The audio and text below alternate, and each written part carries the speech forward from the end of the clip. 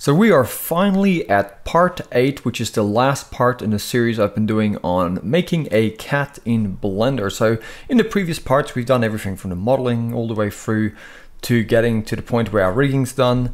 And um, what we're going to do now is do our animation. But before we do that, let's just clean up our file a little bit. So let's take the things we created in the previous part. So let's grab the backdrop here and these lights. And let's just go M and let's go new collection. Let's just move them to a collection called stage and go okay. And let's take that stage for now and just turn that off. Not the render, but just the display. And let's take our camera as well and just drag that into the stage as well. And then we're going to take our main collection and call it cat. And inside of there, we have our two eyes and our cat, which is perfect. And then we can take our ref and just pull that to the very bottom. We don't need to see that. And we have our rig, which we created earlier. We already have that on its collections. We can turn that on and off, but for now we want it on. So just the stage and the ref should be hidden. And I like to just give these some colors, um, which is completely optional if you right click on them. Um, but yeah, this is kind of what I'm gonna do. So now we have that set up and now we're gonna go to our right orthographic view. Important. Let's select our cat and let's also go to our modifiers. And to make things more efficient, let's just come here and hide the particles. And I'm also going to go up here to my viewport shading and I'm going to enable texture like so. And now let's go control S to save. And now let's select our cat rig and let's go into the pose mode. And let's drag up our timeline and we're going to come here and give this 40 frames to the end value. So we're going to work from 1 to 40 over here with the animation. So we're going to come over onto frame 1 and let's actually grab on frame one, the front paw over here on the left. So you can actually see the bone name is um, front leg dot capital underscore ik dot capital L. And what we're gonna do in our right orthographic view, we're gonna go G and we're gonna go Y and move it forward like so. And then we're gonna grab this one over here on the other side, the other IK, and in the right view, we're gonna go G, Y, and move it back. And then we're gonna grab the cat body control up here. And we're gonna go G and just lower the body a little bit like so, and maybe move it just a bit forward like that. Okay, and we can grab the shoulder here or the spine and just rotate it down just a little bit. And now with all that done, we're gonna go and in fact, let's just grab these bones here, the back legs over here. Let's just grab them and go H to hide them for now. And with everything else selected, we're just gonna go ahead and select it. And on frame one, we're gonna go I and insert a location and rotation keyframe. Okay, so now we have a keyframe. And while we're still in frame one and we have those keyframes, let's just grab these two IKs like so. So select them both by holding in shift. Then go control C or command C. That's gonna copy this pose. Then you're gonna go over to frame 20. And on frame 20, what you're gonna do is you're going to go Control Shift V or Command Shift V, and that's going to inverse it. And then with all of these bones selected, press A to select everything. Then you're going to go I and insert a location and rotation on frame 20. So now this is what we have, like that. And this is also part of the reason why that naming convention is really important, the dot capital R and dot capital L, so Blender can do this interpolation automatically. So now what we're going to do, we're to go to frame 10 in the middle, because at the moment they're just sliding like this, right? So we're gonna go to frame 10, and on frame 10, we're gonna grab this one, the dot R, one over here, the IK for the right side, and in our right orthographic view, let's enable auto keying, so that's gonna automatically add in a key, and then we're gonna go G and move the paw up and forward a little bit, like so, and maybe even rotate it like that, okay?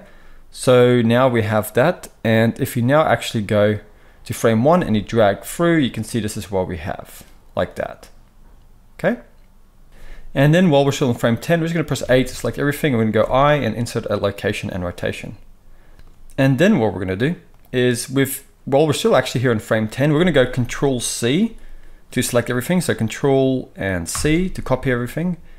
And then we're gonna come over to frame 30 and we're gonna go Control Shift and V. Control Shift V and we still have auto keying enabled, so it's going to automatically add that in as a keyframe.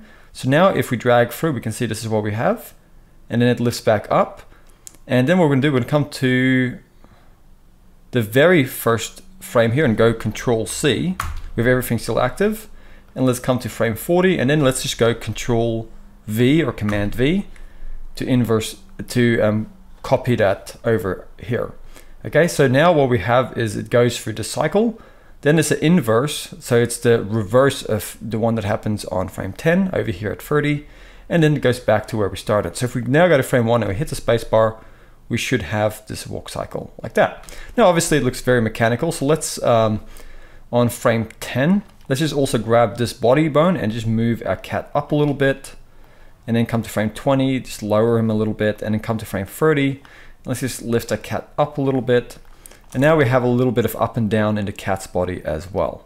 Okay, and later on we'll you know animate the head going up and down as well. But for now, let's also go and turn off auto keying. Let's go Alt H to bring back the other bones. And for now, let's just select these front leg bones and go H to hide them. And now let's go to frame one. And on frame one, we're gonna do something very similar. So this time we're gonna select the right um, back leg IK as well. And in our right orthographic view, let's just enable auto keying and go G, Y, and move that forward on the Y.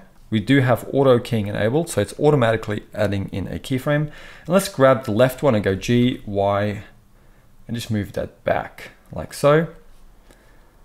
And then we're gonna just select all of these leg bones and go I and insert a location and a rotation. And then let's go over to frame 20. And then let's select these two IKs again for the back and then go Control C and with them both selected, let's just quickly go back to frame one and go Control C or Command C to copy. Let's quickly pop back to 20 and then go Control Shift V or Command Shift V to inverse them like this. And now we have this going on as well. And what we need to do now is come to frame 10. And on frame 10, we're now going to take this leg over here, the left one in the back. And on frame 10, we're going to go G and move that guy up and forward a little bit and just rotate the pull like that. And then we're going to select all these bones and go I and insert our location and rotation. So now this is what we have. Okay, but obviously we now need to do the same thing we do the negative. So let's come here to frame 10. And if all of these leg bones selected, let's just go control C. And then let's go to 30 and go control shift V. We still have auto keying, so it's automatically added in those frames. And then let's go to frame one and just go control C to copy and then come to 40 and go, and go control V just to paste it in from where we started. So now if we go to frame one and we hit the spacebar, this is kind of what we have. Okay. And now we can go Alt H just to bring everything back. And now with auto keying still enabled, we can come here in the middle. And now let's give the head, as this cat's coming forward, let's give the head a little bit of a tilt up, like so. And as it's coming down again, let's give it a little bit of a tilt down, including the shoulders here. Let's just give it a little bit of a tilt like so. And then as it comes back up, let's just give it another little bit of a tilt like so, just slightly. And now we can see there's a little bit of movement in the cat's head. And let's grab the hips here as well. So let's come to frame 10 and let's, as cat lifts up, let's let the it lift up a little bit like this. Come to frame 20, let it go down a little bit. Let's go to frame 30 and up a little bit. And now just add a little bit of extra um, movement in there is really adding something to it. And you can also now grab the tail and let's come to frame 10. In frame 10, let's just lift the tail slightly and rotate it like so. And then on frame 20, let's let it go down a little bit and rotating down, just slight, very slight. And on 30, let's just lift it up a little bit and rotate it like so. And now this is what we have. Okay, just a little bit of rotation or wobble in the tail like that. Now this is just very basic and in real life you would do a lot more things to make this feel a bit more natural, less mechanical. You could add in more controllers, some soft bodies to kind of like make it jiggle a little bit. But this is kind of just a basic walk cycle. There's a lot more that could be said about this. But um, let's also grab the eyes and let's just go to frame 20 and frame, or maybe even frame 15. So it's a bit of an offset. And let's just kind of make the cat look to the side like so. So this is what we kind of have. The cat looks and um, let's just come to frame In fact, with the just with the eye controller here selected, let's just grab all of the middle frames and delete them. So we have it like this, and then let's come at 15, and then he looks over. And let's just make a hold. So select this and go Shift D, have a bit of a hold, and then he looks back.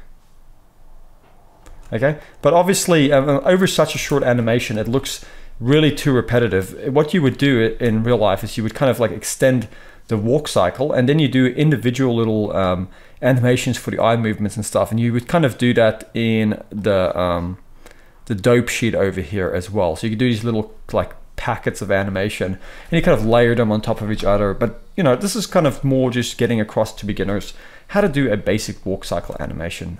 And this also makes our cat kind of come to life a little bit. And what I might do is just kind of get rid of that eye. Maybe just have it go down a little bit instead or up. Yeah, but anyway, now we kind of have a walk cycle animation. So I'm just gonna go ahead, turn off auto keying. Let's go, I'm back in object mode and let's just go turn off to rig. And we'll grab our cat. Let's just turn the fur back on and the display. And there we have it. And obviously with the fur, we might have to come, if you want to see the fur in the viewport, you have to come and bring the display down to at least five or so. Otherwise it's going to lag a little bit in the viewport. But yeah, that is how we make a cat in Blender. I really hope you guys have enjoyed this series and it will be up on my Patreon as well. So you can find the very finished product on my Patreon. That's all in the description. And also you can follow me on Instagram. We can also share the results from this project. I'll see you guys next time.